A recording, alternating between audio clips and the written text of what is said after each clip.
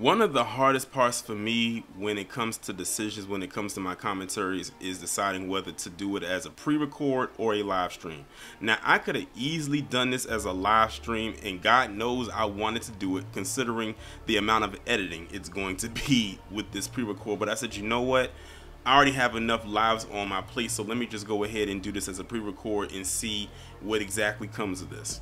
So, in case you've been living under a rock, Marlon Wayans and Vlad, the culture vulture himself, ended up getting into it on social media recently in the last few days. Mind you, I'm recording this video on August 21st, 2024. So it was probably about less than a week ago when all of this went down. But I want to start at the beginning of how all of this happened. So apparently, Aries Spears sat down, or as I like to call him, one of Vlad's regulars, sat down with Vlad to do an interview on Vlad's decaying platform and you'll see why I call it decaying as we go through this video. So he sat down with him. They're just having like a regular conversation. And then all of a sudden, out of nowhere, Vlad just happens to bring up Marlon Wayans' name out of the blue. And and it's like, okay, well, by him doing that, we already know that this isn't going to go well, but okay, fine. So Vlad brings up Marlon Wayans' name and he brings up the fact that Marlon Wayans wants to, well, Vlad wanted to do an interview with Marlon Wayans. Marlon Wayans gave Vlad a price of $40,000 to do an interview with him, plus, I believe, about 33% of the profits that he makes thereafter. Basically, any money that he makes off of the video, which we all know Vlad would monetize, Marlon Wayans would get 33% of those profits. And it's like, okay, fine, whatever.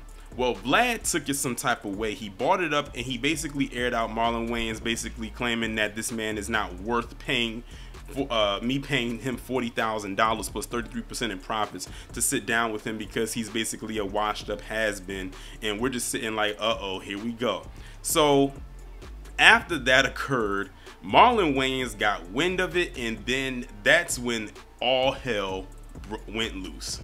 So we start with this post right here from this person whose name is really OD1 who said at Marlon Wayans, you a good one cause at DJ Vlad would have to pay me 500,000 for an interview with 55% of all revenue made from the video on all platforms to which Marlon ended up replying with three crying laughing emojis saying see I tried to tell him I was giving him a deal oh well. And really what I think of it is, is I think that Vlad also mentioned how, you know, Marlon sits down with other people to do interviews and he's not charging them nearly as much as he would charge him. Well, the reason is because it's Vlad, because of who you are. It's not like it's a secret or some unknown thing that you are indeed a culture vulture. So that's probably why Marlon charged you that much. And really, to be honest, based on what I've been hearing from other people, they said they believe Marlon charged him that much because he knew Vlad wouldn't accept it. That was his way of saying, I don't want to interview with you without actually saying, nah, I'm good. So he just threw out a very astronomical price just to not sit down and interview with you, which was actually smart on Marlon Wayans' part because it actually made Vlad expose himself even more. Let's continue. So here we have this post right here that came from Vlad and he said Marlon Wayans found someone with 200 followers to 100 followers to agree with him lol nobody on earth is going to pay marlon $40,000 for an interview when he gets 100k to 300k views on any platform he interviews on. The guy is really delusional. And then he pulled up images of him on jimmy kimmel then he was on the breakfast club and he's on this other person. I'm not entirely sure who that is. And those views were you know like Vlad specified 100k to 300k views. Now there was another screenshot that I couldn't find, but apparently DJ Vlad was also on the Breakfast Club and on that interview it had like 760 plus thousand views and Vlad made it seem like he was doing something. The reason why that video or that a post from the Breakfast Club got that many views is because of the title. It had Tupac's name in the title where it was saying something about DJ Vlad solving Pac's murder or some some clickbaitish real title. I wonder what the likes and dislikes even look like on that particular video considering that just sounds extremely embellished almost as embellished as roly poly wet yam martin claiming he pulled up on dr khalid muhammad but he couldn't even handle a pull-up by jamal green make that make sense let's continue So here we have Marlon with the response. Now, let me be honest with you. I kind of like grabbed these screenshots, so hopefully they're not completely out of order, but I think I might be in some kind of sequential order. So Marlon did, came back and said, "You mad? You unprofessional, my guy. If you don't like the number, keep it moving. You look bad. You should fall back. Mad at a black man stating his number, and now you go public and use your platform to try to drag me. I never in my life dealt with this silly negotiating tactic, and it was very unprofessional of Vlad. And you'll see what I mean when I bring up the next post, because then he went even further to try to go after Marlon." for something to further try to degrade him. And this is a pattern that Vlad tends to have, but I'll specify what that pattern is as we continue forward. So this is the post right here that I believe Marlon was talking about. I just have them kind of slightly out of order. So Vlad said, Marlon Wayans, I'm sorry that you don't find me attractive. That's just weird. Just the, that's your that's what you're leading with. But anyway, he says, for, fortunately for both of us, I'm heterosexual. Between your recent gay photo shoot and your claim to fame dressing up as a woman, this would be the perfect time to fully come out of the closet. Coming out as gay in 2024 will surely revive your declining acting career. And since I turned down your 40k offer for an interview, I'm pretty sure you can get that amount for your first gay porn scene. Marlon Gayens would be an awesome porn name, by the way. Now he's going based off of this photo shoot that Marlon Wayans did during Pride Month, and the reason why Marlon Wayans did that is because if y'all don't know, Marlon Wayans has a trans child. He has a well, he has a daughter, biologically born, double X chromosome daughter, that transitioned quote unquote into a Hall T man and that's why he ended up doing that photo shoot. He wasn't doing it on his own on behalf because he's in the academy. No, he did it because of his daughter and he's uh, of well of his child. I'll leave it like that. He did it on that benefit and didn't specify that's why he did it. So here's Vlad literally stirring the flames and making something out of nothing to try to make himself appear more, I guess you can say, boastful than he actually is. And I forgot to say it earlier. Keep the view thing that I talked about in mind when I talk about views on videos and whatnot, because I got some screenshots to show y'all when it comes to Vlad's so-called views. But let's continue. Now, let me just preface this by saying some of these posts might be out of order because they now this is just a full-on roast of Vlad because there's no more screenshots from Vlad because he pretty much stopped after this and then everything else is just Marlon just flaming this dude. So we have this post right here where he says hey DJ Vlad how did you go from this to this Turkey?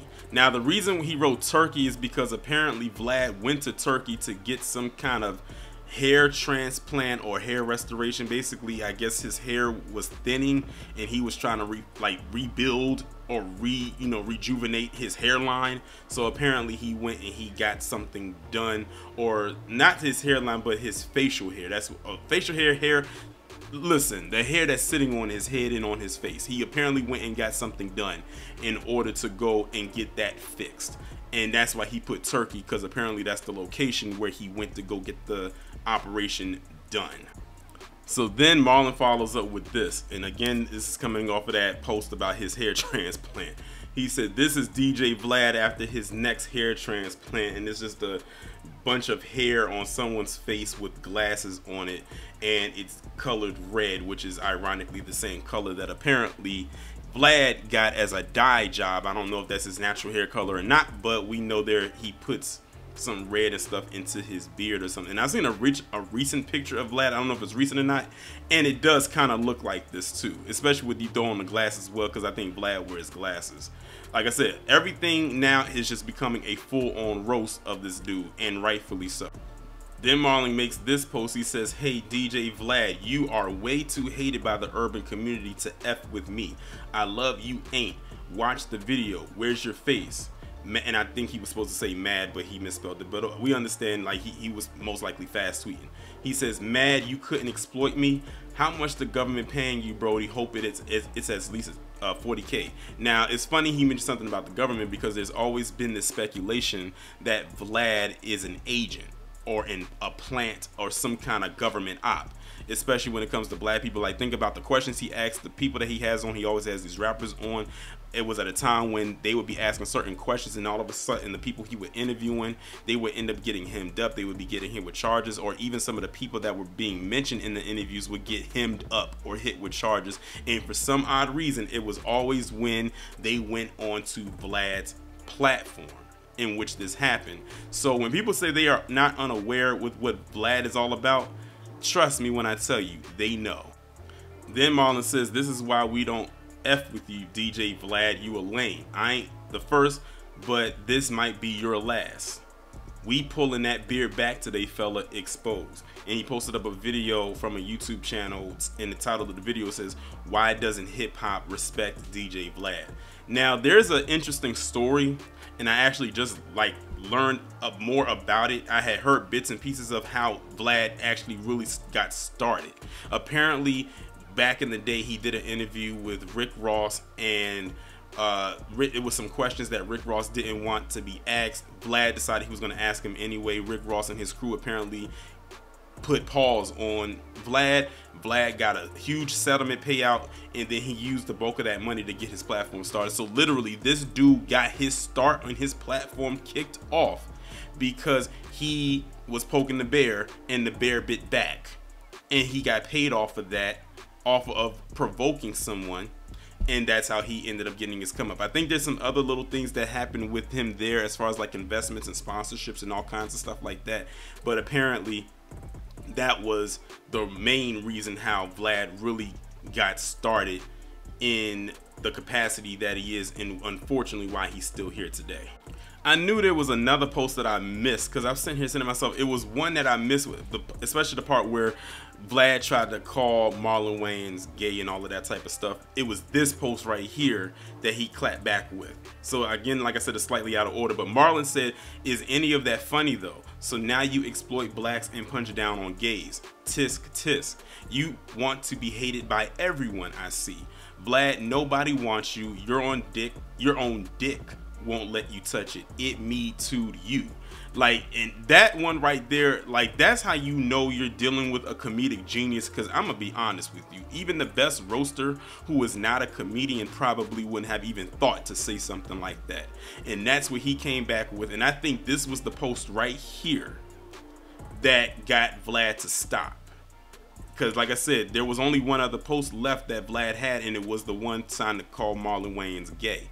And when he came back with this one, I don't think Vlad replied anymore. Like it was like he he waved the white flag and that was it. But like I said, you saw the other post. Marlon clearly wasn't done, but this was the post right here that made him stop talking.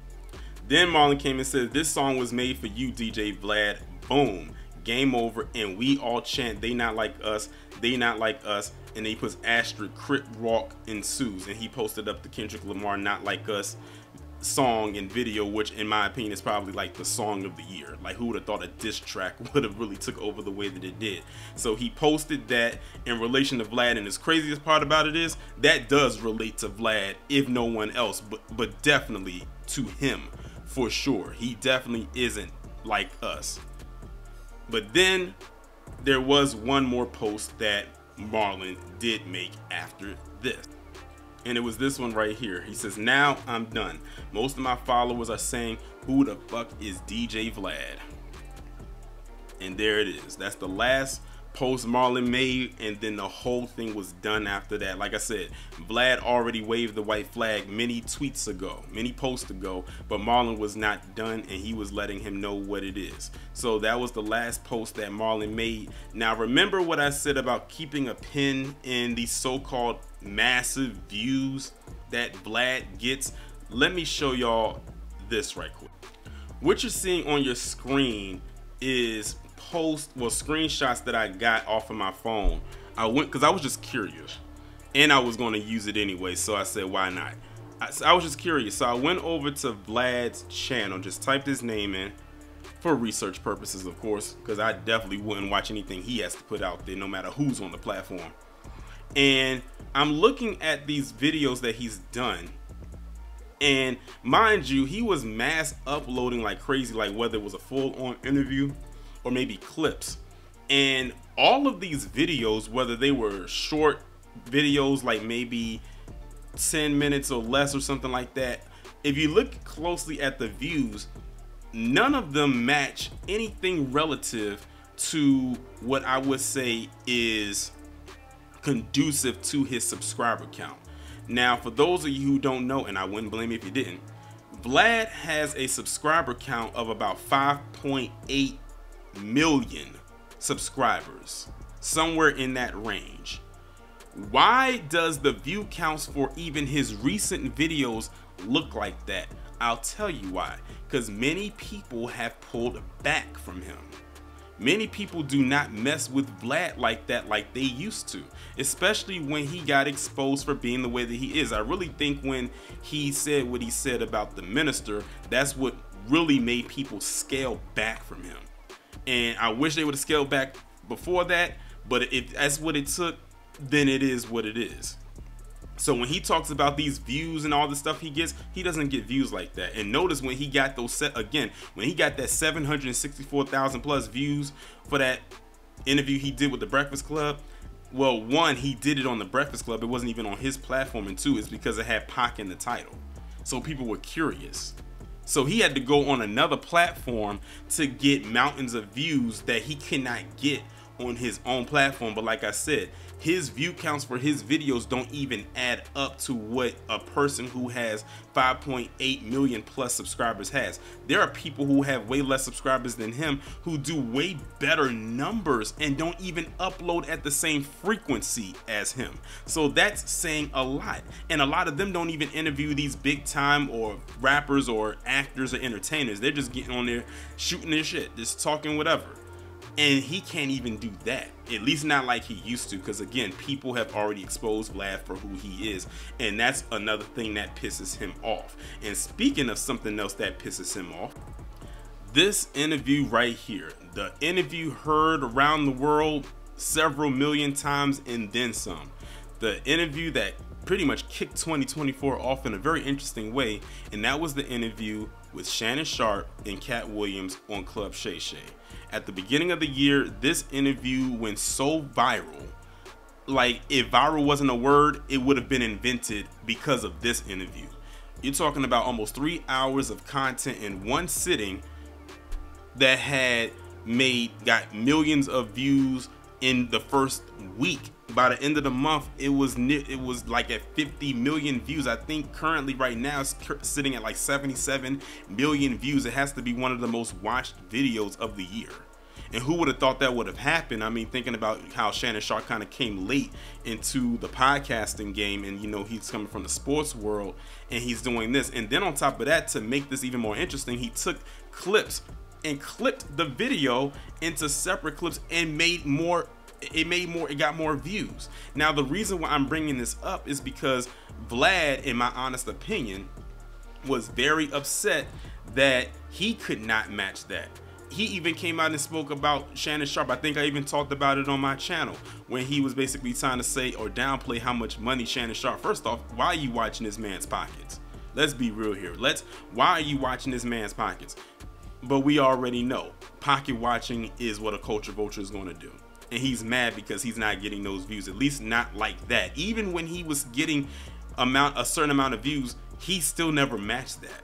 Even when he was still having a good engagement on his channel, he was not matching that. And that was from one video. That was from one freaking video. And he's upset because he never could match that. So he started speaking ill about Shannon Sharpe trying to say, oh, he only made like a million dollars. I'm to tell you right now, this man, Shannon Sharpe, made way more than a million dollars on that one interview. I can almost guarantee that. And I can say that with my whole chest. But since Vlad does want a pocket watch, Vlad, let's ask how much money you've made this month. And I'm not talking about through sponsors or any type of endorsements. I'm talking about through Google AdSense. How much did you make this month? Let's just be completely honest with ourselves here. I bet Shannon Sharpe probably made more in this year alone on that one video than Vlad has made in the last year. And that's what pisses him off. But, you know, Shannon Sharpe, again, was not the only person that Vlad decided he was going to go after this year. Don't forget he also decided to come out of the side of his neck and go after Taraji P. Henson. Because if you remember, Taraji P. Henson was talking about the pay discrepancy that black women were dealing with in Hollywood right around the time when she was promoting the color purple. And he decided to, you know, stick his nose in there again, something that has nothing to do with him and dealing with a black person's finances. And he decided he was going to stick his neck in there and basically telling her to suck it up and just deal with it and move on. It's not this it's not that. I'm like how do you know what it is or what it isn't? You don't live in this woman's world. You don't walk in her shoes every day. She told y'all what it was and he's going to come out there and say what he says and it had nothing to do with him. I spoke about this as well. But i think it was this one right here this situation involving this woman right here that really made people give Vlad the cold shoulder. Now, in case y'all don't know who this is, this is Morgan Jenkins. She is a professor at Morgan State University, ironically. And she basically came out and said something towards Vlad around a time when Not Like Us came out and was really popping, like really viral at the time. And Vlad said something, I can't remember exactly what he said, and then Morgan decided to come back and say what she had to say. And mostly in, the same tune with what Marlon said when he mentioned Not Like Us. And man, did Vlad get in his feelings again all the way to the point where he decided he was going to try to reach out to Morgan State, not even just reach out, but tag Morgan State University in his post demanding that they fire her because his feelings was hurt. And he tried to say she was being racist and all types of stuff like that. That fell on deaf ears because again the community came out and dragged him some more all the way to the point where Vlad ended up issuing a so-called apology which I hope she did not accept because that so-called apology don't mean a damn thing especially coming from him even if it was genuine. So this is the kind of person that we're dealing with here. So when Marlon decided to go after Vlad in the tone that he did, just think about all the stuff that Vlad has done in the past, just in you know, just in this year alone. It doesn't even have to be over the, the span of his so-called career. But I think the thing that probably made the people the mad the most was the fact that you had Vlad trying to downplay Marlon Wayans' success as if him doing the movie White Chicks was his claim to fame. And it's like those of us in the know knows that Marlon Wayans has been doing this since the early 90s. Now I have a picture up here of their family where you have their mother, their father, and all the siblings right there and that's like the core right there. It's way it's more of them because, like I said, the Wayans family is huge. Like they're they like all those kids that their parents had, then the grandkids, and I'm sure there's some great grands in there as well. And and these and this they literally birthed these two people right here. Literally birthed a comedy family dynasty, much like Joe and Catherine birthed the that Jackson's dynasty. So when he said stuff like that and he tried to belittle Marlon Wayans as if all he was known for was white chicks and stuff like that, that literally comes from a place definitely of how white people so-called discovered Marlon Wayans. Again, we've known Marlon Wayans and his entire family for the most part since the early 90s. If you're just now discovering him from White Chicks, then you need to go back and look at this man's catalog. If you just want to focus solely on him between the movies he's done, uh, the television shows he's done, the stand-up that he's done, and not only that, he's a very versatile actor. He can do comedy, which we all know him for, but he can also do drama. If you have not watched him on Bel Air, I highly suggest that you do because he's playing Will's father, Lou. And if you remember the OG uh, Fresh Prince, where Ben Vereen played Lou, you already know we don't like Lou. But I think they're trying to do a redemption arc type of thing with his character this season. We'll see how it goes. But the fact that he tried to belittle him into just this little pocket known as White Chicks, which by the way is a Wayans family production. It's ironic that Vlad left that part out. But not only is this family great on screen, but they're great behind the scenes. I mean, think about Keenen Ivory Wayans. He literally put that whole family on his back within Living Color. He put a lot of them on, and not just on his family, but other people as well. If it wasn't for Keenen Ivory Wayans, we wouldn't have Jim Carrey or Jamie Foxx or Tommy Davidson or anything like that. Not saying we wouldn't have those people, but he gave them a pet, a launch pad to really kick off their careers. Because what did Jamie Foxx end up doing? He ended up getting his own show. He did movies. He won an Oscar. and so on and so forth. So when he says that, that's what really I think at the core of it is what pissed a lot of people off was for him to try to car uh car uh car you know I can't think of the word right now, but try to reduce his status down to one movie. No. We knew Marlon before White Chicks, and we know of him after White Chicks. As a matter of fact, I think Marlon Wayans is supposed to be in that new Jordan Peele movie. So far, I think he's the only one I know who's casted, and he's in the lead, which is dope for him because rarely does he play lead roles. He's usually always in the supporting role. So, and then we know how Jordan Peele movies are, so we know this is going to be far from a comedy. So, when Vlad sits up there and he says stuff like that, that's what made a lot of people come at him the way that he did, including Marlon himself, because he's going to defend himself. Now, I do have some issues with Marlon Wayans. I do. I've spoken some things, talked about some things involving him that I wasn't too fond of or too much of a fan of. But I'll put it like this I think everybody as a collective has more of an issue with Vlad than Marlon Wayans, than anything and I don't want to speak for the collective, but I'm gonna do it right now. I think as a collective, we have way more issue with Vlad, and I don't know what it's going to take for Vlad to finally just like dissipate or just go away, but it needs to happen soon, and it needs to happen fast rather than later. But wait, more. So I thought I was done with the commentary, but I had to add this part in there, especially since it'll be a couple of more days before y'all actually see what I have to say about it. This post went up on August 21st, and apparently DJ Vlad, or just Vlad, has been going around asking or telling people about his encounter with Marlon Wayans online and just trying to give people's opinion and take on. I believe he was sitting down with DL Hughley, another one of his regulars, as I like to call it, on his platform. So Marlon said, Yo, DJ Vlad, you asking everyone about my price. It's crazy. This is the most attention you've gotten in years. There's good press and there's bad press. You losing to a legend. I'm a people's champ. Take the L. I mean, literally this guy Vlad like literally he is in his feelings but he's always in his feelings when he doesn't get his way like I specified in the previous parts he cannot when he doesn't get his way that's when he starts to go on the slander campaign but Marlon wasn't done yet when it came to just this post because he made another post and I think this one right here is the part that's really going to upset him the most so he made this post right here on the same day right after the post that y'all just saw. He said, hey, DJ Vlad, I'm going to do everyone else's platform except yours, starting with who hate who hate first. I'm guessing he meant to say who you hate first, but I understand.